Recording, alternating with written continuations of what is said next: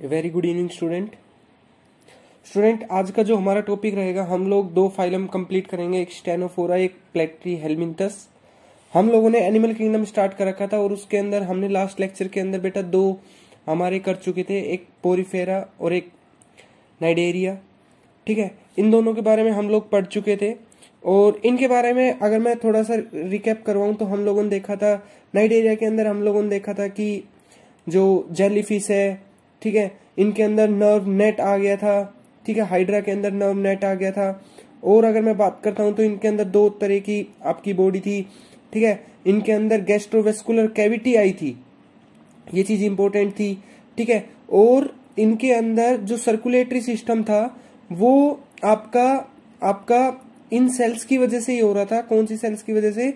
ये जो आपकी गैस्ट्रोवेस्कुलर कैविटी के अंदर सेल्स थी, इन्हीं की वजह से हो रहा था, ठीक है ना?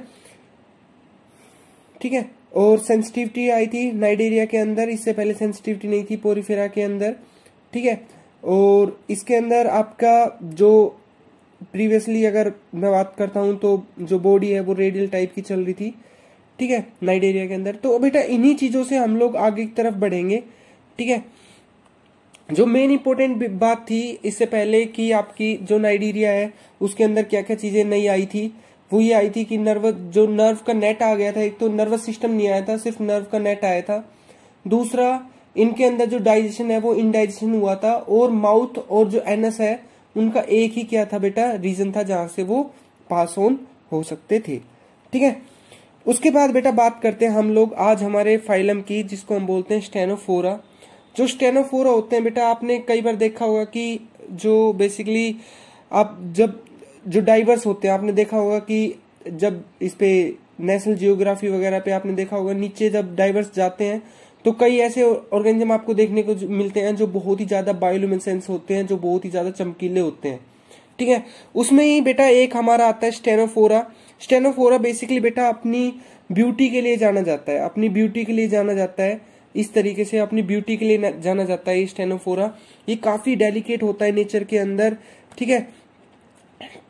उसके बाद बेटा, उसके बाद बेटा, इसके अंदर बेटा, जो, जब इसके ऊपर सनलाइट पड़ती है तो ये बेटा रेन रेनबो कलर का जैसा, जैसे रेनबो होती है ना, उस कलर का अपीयर होता है। ठीक ना? इनको हम बेसिकली बेटा सी गोसबेरीज और कोम्ब जेली या सी वोलनट के नाम से भी जानते हैं। ठीक ना? ये तीन नाम आपको मैंने बताए। सी वोलनट कोम जेली सी गोसबेरीज के नाम से भी हम इनको जानते हैं। ठीक है? इनके अंदर बेटा, इनके अंदर बेटा, इनके अंदर बेटा ये जो बेसिकली आपके मैराइन सी वाटर के अंदर आपका प्रेजेंट होता है, ठीक है? उसके बाद उसके बाद ये जो बायोल्यूमिसेंस है, ठीक है ना? ये जो बायोल्यूमिसेंस है, ये इनकी एक बेटा आपकी क्या, कैसी प्रॉपर्टी होती है? ये एक इनकी सेपरेट प्रॉपर्टी होती है, ये एक इनकी, जो इनको वेल मार्क करती है ना कि भाई ये प्रॉपर्टी तो इनके अंदर होती होती है। जो अलग इनको सेपरेट बनाती है और ग्रुप से, वो इनकी बायोल्यूमिनेसेंस प्रॉपर्टी होती है। ठीक है ना? जो बॉडी होती है बेटा, वो इनकी सॉफ्ट और जेली लाइक होती है। बिल्कुल सॉफ्ट और जेली लाइक होती है। ठीक ना? और अब जैसे पहले आप, जैसे पहले नाइडेरिया के अंदर देखा, वैसे ही इनके अंदर बेटा रेडियल सिमिट्री देखने को मिलती है। और जैसे नाइडेरिया डिप्लोब्लास्टिक था, वैसे ही ये क्या होता है बेटा? डिप्लोब्लास्टिक होता है। ठीक ना? डिप्लोब्लास्टिक होता है। डाइजेस्टिव जो होता है, बेटा डाइजेशन जो होता है, वो बाहर भी होता है मतलब केमिकल स्क्रीट करके फ़ूड को बाहर ही डाइजेस्ट करके, फिर अंदर लिया जाए और अंदर भी इनके अंदर होता है। दोनों तरीके का आपको डाइजेशन देखने को मिलेगा। इनकी बॉडी पे बेटा, इनकी बॉडी पे आपको, इनकी बॉडी के ऊपर आठ आठ तरीके की बेटा आपको ऐसे सीलेरी कोम दिखेगी। आपको फोर यहाँ पे दिख रही है ना? ऐसे ही चार कहाँ पे होती बेटा? इनके पीछे की तरफ़ होती है। आठ सिलरी कॉम्प्लेट आपको इसकी बॉडी के ऊपर बेटा देखने को मिलती है। ठीक है? ये बेसिकली बेटा इनके अंदर जो स्केल्टन सिस्टम होता है एक्सक्रेटरी सिस्टम होता है रेस्पिरेटरी सिस्टम होता है, ये बेसिकली बेटा आपका अब्सेंट होता है। ठीक है? जो सेक्सुअल रिप्रोडक्शन होता है, इसमें जो फर्टिलाइजेशन होता है बेटा वो बाहर होता है। मतलब जो फर्टिलाइजेशन होता है वो बॉडी के बाहर होता है। ठीक है? बॉडी के बाहर होता है और ये बेसिकली बेटा कार्निवोर्स होते हैं। ये बेसिकली बेटा कैसे होते हैं? कार्निवोर्स होते हैं। क्योंकि इनके पास बेटा दो टेंटिकल्स प्रेजेंट होते हैं। अभी मैं आपको और सेपरेट करके दिखाता हूँ। इनके पास बेटा ये टेंटिकल्स होते हैं, ठीक है ना? ये जो टेंटिकल्स आप देख रहे हो, ठीक है ना? ये टेंटिकल्स होते हैं बेटा इनकी बॉडी के ऊपर। ये टेंटिकल्स क्या करते हैं बेटा? ये टेंटिकल्स क्या करते हैं? ये इनको जब भी कोई, जब भी कोई इनको प्रे वगैरह दिखता है तो ये टेंटिकल्स क्या करते हैं बेटा? ये आपकी प्रे को कैच करने में हेल्प करते हैं। ठीक है ना? किस चीज़ में हेल्प करते हैं? कैच करने में हेल्प करते हैं और इनको हम बेटा एक और नाम से जानते हैं, किस नाम से? लेजो सेल्स।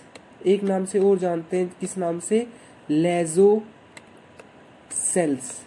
ठीक है ना? इस नाम से भी बेटा हम इनके टेंटिकल्स को जानते हैं। ठीक है? ठीक है? इसका बेटा एक मेन इसकी जो लार्वा होता है, ये भी आपको नाम याद रखना होता है, इसका लार्वा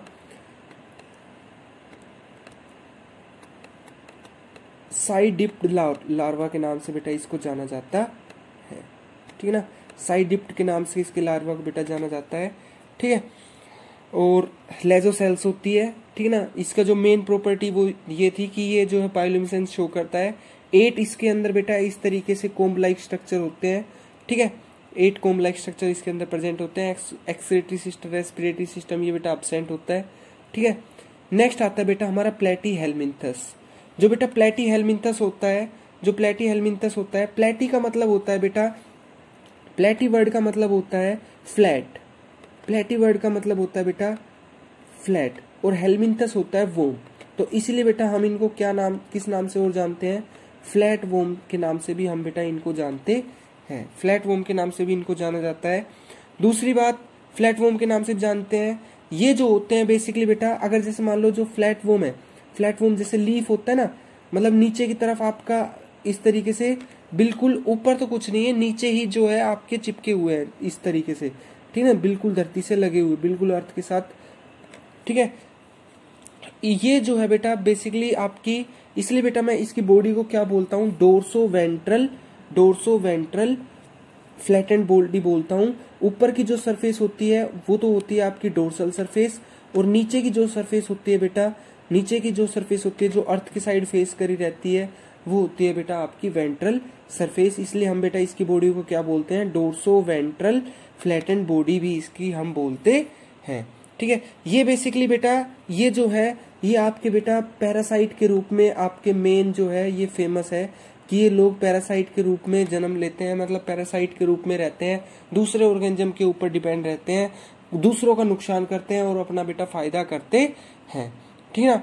बेसिकली क्या है? पैरासाइट है और कई बार ये फ्री लिविंग भी रहते हैं। आई मीन आज इनकी लाइफ साइकिल जो है, वो पूरी डीप में पढ़ के चलेंगे। ठीक है? इनके अंदर बेटा, देखो पहले क्या थी आपकी रेडियल सिमेट्री थी?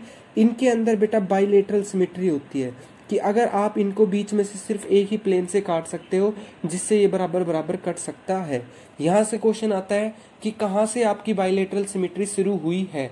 वो आंसर जाता है, बेटा प्लेटी एलमिंथस उसके बाद, बेटा, दूसरा क्वेश्चन ये बनता है नीट का कि आपका जो पहले हम, इससे पहले हमने देख के आए कि कैसी थी डिप्लोप्लास्टिक आपकी लेयर जो है डिप्लोप्लास्टिक थी, इनके अंदर बेटा लेयर जो है, वो कैसी आती है? ट्रिप्लोब्लास्टिक आती है। लेयर जो है वो बेटा कैसी आती है? ट्रिप्लोब्लास्टिक आती है। दूसरा क्वेश्चन यही बनता है कि ट्रिप्लोब्लास्टिक लेयर बेटा कहाँ से शुरू होती है? आपकी प्लेटी हेलमिंथस से शुरू होती है। तीसरा क्वेश्चन यहाँ से ये बनता है बेटा, इनके अंदर बेटा हेड और टेल आपको मतलब कहाँ पे माउथ है, कहाँ पे एनस है, ये चीज़ आप बेटा पहचान सकते हो। इससे पहले के जो ऑर्गेनिजम्स थे, उनके अंदर बेटा नहीं पहचानी जाती कि टेल कहाँ है हेड कहाँ है। ठीक है, इनके अंदर बेटा एक प्रॉपर सीक्वेंस होता है जहाँ पे हेड होता है और जहाँ पे टेल होती है। तो इसलिए इस प्रोसेस को बोलता हूँ बेटा सिफेलाइजेशन तो ये भी क्वेश्चन आता है कि किस ऑर्गेनिज्म के अंदर सिफाइलाइजेशन सबसे पहले स्टार्ट हुई तो आंसर जाता है बेटा प्लेटी हेलमिंथस। ठीक है ना? देखो, तीन क्वेश्चन मैंने बहुत बढ़िया बढ़िया आप लोगों को बताए हैं कि एक तो पूछा जाता है कि आपका ट्रिपल प्लास्टिक कहाँ से शुरू हुई बाइलेटरल सिमेट्री कहाँ से शुरू हुई, और आपकी सिफेलाइजेशन कहाँ से शुरू हुई। ठीक है? उसके बाद बेटा यहाँ, इनके पास जो है तीनों लेयर एक्टोडम मीजोडम और एंडोडम आपकी प्रेजेंट होती है। ठीक है? ठीक है? इनके अंदर बेटा स्केल्टन सिस्टम जो है, जो रेस्पिरेटरी सिस्टम अगर मैं गैस एक्सचेंज की बात करता हूँ तो बेटा वो स्किन से ही हो जाता है। क्योंकि ये बेटा बिल्कुल फ्लैट होता है। फ्लैट होने से क्या होता है, इनका सरफेस एरिया बहुत ज़्यादा हो जाता है। अगर बेटा सरफेस एरिया आपका ज़्यादा हो जाता है ना तो उन ऑर्गेनिज्म की अंदर की वॉल्यूम तो कम है और सरफेस एरिया बहुत ज़्यादा है। इसलिए बेटा वो बॉडी से ही क्या कर लेते हैं, गैस एक्सचेंज कर लेते हैं। ऐसा कोई रेस्पिरेटरी सिस्टम हमें देखने को नहीं मिलता, ना ही इसका स्क्लेटरी सिस्टम हमें देखने को मिलता है। ठीक है ना? उसके बाद बेटा हम लोग बात करते हैं। अगर मान लो इनके एक्सक्रेटरी सिस्टम की बात करता हूँ एक्सक्रेटरी सिस्टम एक्सक्रेटरी सिस्टम जो होता है बेटा, इनके अंदर आपको एक अलग तरीके की सेल्स प्रेजेंट होती है इनके एक्सक्रेटरी सिस्टम में। इनको हम बोलते हैं बेटा फ्लेम सेल फ्लेम सेल भी बोलते हैं और सेलेनोसाइट्स भी बोलते हैं। ठीक ना? फ्लेम सेल्स भी बोलते हैं और सेलेनोसाइट भी बोलते हैं। इस तरीके से बेटा ये जो फ्लेम सेल्स है, ये आपको यहाँ पे मैंने दिखाई है। ये बेसिकली क्या करती है बेटा? एक्सक्रीशन का काम करती है। जो वेस्ट मटेरियल जो आपका आया है, वो देखो, इनकी जो बॉडी है, वो तो है तो ब्लाइंड सेक जैसी। अभी तक इनके अंदर बेटा ट्यूब इन ट्यूब नहीं आया है। है तो ब्लाइंड सेक जो बॉडी ऑर्गेनाइजेशन है, वो है तो ब्लाइंड सेक लेकिन इससे, लेकिन क्या है? एक्सक्रेटरी सिस्टम है। तो मतलब आपका माउथ जो है बेटा, वहीं से क्या होगा? आपका जो एक्सक्रीशन है वो आपका निकलेगा। मैंने आपको कई बार बता चुका हूँ ब्लाइंड सेक क्या है, ठीक है ना? और फ़र्स्ट लेक्चर के अंदर मैंने आपको सारी चीज़ें बताई थी कि किन बेसिस पे हम लोग डिवीज़न कर लें बाइलेटरल सिमेट्री क्या है, ठीक है? डिप्लोब्लास्टिक क्या है ट्रिप्लोब्लास्टिक क्या है ब्लाइंड सेक क्या है, ये सारी चीज़ें मैं बता चुका हूँ। ब्लाइंड सेक का मतलब क्या है कि आपका माउथ और एनस जो है वो बेटा एक ही जगह पे है, एक ही जगह से खाता है और एक जगह से आपका एग्जिट होता है। तो फ्लेम सेल्स क्या करती है? आपका एक्सक्रेशन का काम करती है और एक्सक्रेशन जो बाहर निकलता है बेटा वो आपका माउथ से ही बाहर निकलेगा। ठीक है? ठीक है? और फ्लेम सेल्स को हम क्या, किस नाम से जाने, जानते हैं बेटा? सोलेनोसाइट्स के नाम से जानते हैं। और यहीं से बेटा आपका क्या होता है? ओस्मो रेगुलेशन होता है। ठीक है ना? क्योंकि सी वोट मेराइन वाटर के अंदर प्रेजेंट होता है तो इसलिए बॉडी को ओस्मो रेगुलेशन जो है, वो बहुत ज़्यादा ज़रूरी होता है। अगर बेटा इसके नर्वस सिस्टम की बात करता हूँ तो जो इसका नर्वस सिस्टम होता है बेटा, इसमें आपको दो नर्व कोड आपको इस तरीके से पैरेलल चलती हुई दिखाई दे रही है और ये आपस में कनेक्ट होती है। इसलिए बेटा इनका जो नर्वस सिस्टम है, इनको मैं लेडर लाइक नर्वस सिस्टम भी बोलता हूँ। लेडर लाइक नर्वस सिस्टम भी बोलता हूँ। ठीक ना? अगर बेटा इनके रिप्रोडक्शन की बात करता हूँ तो एक ही ऑर्गेनिज्म के अंदर बेटा कई बार दोनों सेक्स प्रेजेंट होते हैं, इसलिए बाइसेक्सुअल बोलते हैं। ठीक है ना? ठीक है, काफ़ी कॉम्प्लेक्स और वेल डेवलप्ड है। जो फर्टिलाइजेशन हो देखो, आपको यहाँ पे पेनिस भी दिख रहा होगा और यहाँ पे आपको ओविडक्ट भी दिख रही होगी टेस्टिस भी दिख रही होगी ओवरी भी दिख रही होगी। तो कहने का मतलब ये है, एक ऑर्गेनिज्म के अंदर ही दोनों सेक्स आपके प्रेजेंट होते हैं। और एक होता है बेटा हर्मोफ्रेडाइट जिसमें मेल भी अंदर ही होता है, एक ऑर्गेनिज्म के अंदर मेल भी है और फीमेल भी है। ऐसा ऑर्गेनिज्म जिसके अंदर मेल भी उसी के अंदर रहता हो और फीमेल भी उसी के अंदर रहता हो, उसको हम बोलते बेटा हर्मोफ्रोडाइट और यहाँ पे बेटा आपका यहाँ पे आपका, यहाँ पे आपका जो जो आपका फर्टिलाइजेशन है वो बेटा अंदर ही होता है। उससे पहले हमने देखा था, बाहर हो रहा था। अंदर होने का फ़ायदा ये है बेटा, अगर खराब कंडीशन आ जाती है तो जो जो एग वगैरह होते हैं बेटा, वो अगर अंदर रहते हैं तो वो शेप रहते हैं, बाहर रहेंगे तो उनको खतरा ज़्यादा है। ठीक ना? उसके बाद बेटा, जो प्लेन एरिया जो आपका, हम इनको बेटा प्लेन एरिया के नाम से जानते हैं। फ्लैट वोम को प्लेन एरिया के नाम से जाना जाता है। जो जो बेटा ये प्लेन एरिया होते हैं, जो प्लेन एरिया होते हैं या फ्लैट वोम जो होते हैं, इनके अंदर बेटा रीजनरेशन की पावर होती है। ठीक है ना? कुछ एक में आपकी रीजनरेशन की पावर थी। पोरीफेरा के अंदर भी बेटा रीजनरेशन जो लोअर ऑर्गेनिजम्स है ना बेटा, उनके अंदर आपकी रीजनरेशन की पावर आपको देखने को मिलती है। ठीक है? नेक्स्ट बात करते हैं बेटा हम लोग। कुछ कुछ एक एक आपको हम क्या वो करते हैं? एग्ज़ाम्पल के थ्रू पढ़ते हैं बेटा। एक आ, आपका आता है बेटा लीवर फ्लू। ठीक है ना? लीवर फ्लूक लीवर फ्लूक आपका क्या है बेटा? एक फ्लैट वोम है जिसका जो साइंटिफिक नेम है बेटा वो है फैशियोला हैप्टिका फैशियोला हैप्टिका ठीक है? इसके अंदर बेटा आपको हेड रीजन दिख रहा होगा, यहीं पे इसका हुक होता है, जहाँ पे ये दूसरे की सरफेस पे चिपकता है। हेप्टिका क्यों बोल रहा है? क्योंकि लीवर जो है साइंटिफिक नेम हेप्टिका से ही वो होता है, ठीक है ना? और आपका जो शक क्योंकि ये जो है ब्लड वगैरह शक करते हैं, इसलिए फ्लूक और साइंटिफिक नेम में फैशिया ठीक है ना? जो इसको डिनोट करता है। तो बेटा, इसके जो है, इसकी जो आपका लीवर फ्लूक होता है, इसकी लाइफ साइकिल को अगर हम पढ़ें तो काफ़ी इंपॉर्टेंट लाइफ साइकिल है। इसके अंदर बेटा दो ओस्ट होते हैं, जिनके ऊपर ये लाइफ अपनी डिपेंड करता है। एक बेटा होता है स्नेल और एक होती है बेटा आपकी शिप ठीक है ना? तो बेटा जो लीवर फ्लूक है, जब वो एग ले करता है वोटर के अंदर तो वो जो एग जो ले करता है, इन, इस एग को मैं बोलता हूँ बेटा मैरीसीडियम क्या बोलता हूँ? मैरीसीडियम ठीक है ना? मैरीसीडियम जो एग है बेटा, वो ले किए जाते हैं वोटर के अंदर, और वो वोटर से किसके अंदर जाते हैं बेटा? वो वोटर से किसके अंदर जाते हैं बेटा? वो वोटर से जाते हैं किसके अंदर? स्नेल के अंदर। ठीक है ना? एक बात ध्यान रखना एग एग ले किया किसने? लीवर फ्लोक ने एग ले किया। एग ले करने से बेटा पहली जो आपकी स्टेज आई, पहली जो स्टेज आई, लीवर फ्लूक की, लार्वा की, इसको बोला हमने मीरासीडियम ये बेटा मीरासीडियम को कौन ले लेता है? ये स्नेल कर ले लेता है। स्नेल की बॉडी में एंटर कर, कर जाता है वाटर के थ्रू। और यहाँ पे बेटा ये अलग अलग लार्वा में चेंज होता है। पहला स्पोरोसाइट फिर रेडिया और फिर सरसेरिया। सरसेरिया के बाद बेटा ये आपका निकल जाता है स्नेल से। और किसमें चला जाता है बेटा? ग्रास में जाके गिर जाता है। जब बेटा ग्रास में जाता है तो ग्रास में जाने के बाद बेटा इसको ग्रास में ग्रास को अगर सिप खाती है तो सिप के लीवर के अंदर जाके बेटा ये क्या किसमें चेंज हो जाता है बेटा? आपका मेटा सरसेरिया से ये बेटा एडल्ट जो फ्लूक बन जाता है। ठीक है ना? एडल्ट फ्लूक बन जाता है। ठीक है? ठीक है? तो इस तरीके से बेटा ये अपनी जो लाइफ साइकिल है, ये अपनी लाइफ साइकिल है, ये आपका क्या करता है? अपनी लाइफ साइकिल को पूरा करता है और इसकी वजह से बेटा जो डिसीज होती है, इसको हम लीवर ड्रीस लीवर रोट डिसीज या सिरसोसा डिसीज भी बोलते ठीक है ना? ठीक है? उसके बाद बेटा बात आती है हमारी किसकी? आपके ब्लड फ्लूक की। ब्लड फ्लूक भी बेटा सिंपल इसी तरीके से अपनी लाइफ साइकिल को फॉलो करता है। किस तरीके से? होता क्या है? ये आपका ब्लड फ्लूक है, ठीक है ना? ये आपका ब्लड फ्लूक है।